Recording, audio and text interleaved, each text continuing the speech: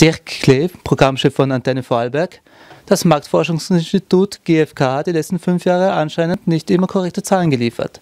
Was bedeutet das für die Antenne Vorarlberg? Wir waren über diese Nachricht äh, sehr, sehr überrascht und auch schockiert. Und das ist auch gerade ein Skandal in der Radiolandschaft äh, Österreichs. Denn in der Tat, das zeigt sich, äh, sind bei einigen Radiosendern in Österreich von der GfK falsche Zahlen geliefert worden in den letzten Jahren.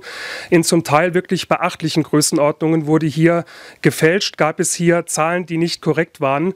Ähm, und was sich jetzt zeigt, ist, dass es vor allem zugunsten von ORF-Sendern war, zugunsten Radio Vorarlberg, zugunsten Ö3 äh, und zulasten einiger großer Privatsender in Österreich, zum Beispiel Antenne Steiermark, Antenne Kärnten und maßgeblich auch uns, Antenne Vorarlberg. Und die Zahlen, die wir jetzt korrigiert schon bekommen haben für das letzte Jahr 2015, zeigen einfach, dass äh, dass wir wirklich um sehr, sehr viele Prozente im Marktanteil äh, geprellt wurden. Äh, wir sogar für das Jahr 2015, was uns jetzt wirklich gestern erreicht hat, diese Informationen, Marktführer in Vorarlberg waren vor Radio Vorarlberg, vor Ö3 für die Zielgruppe der 14- bis 49-Jährigen. Und das ist eine Sensation eigentlich, weil damit sind wir der erste Privatsender überhaupt in der Geschichte des Privatrundfunks in Österreich, der es geschafft hat, im Bundesland Ö3 zu knacken.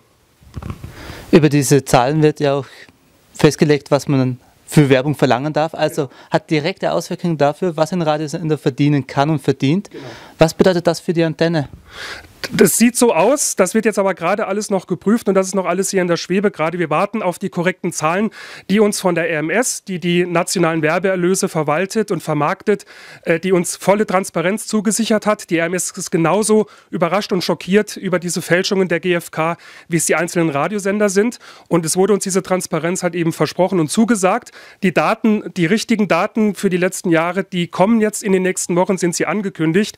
Das wird man sich natürlich äh, alles äh, ganz genau anschauen, um dann halt eben die nächsten Schritte zu überlegen, sehr klar und sehr genau zu überlegen.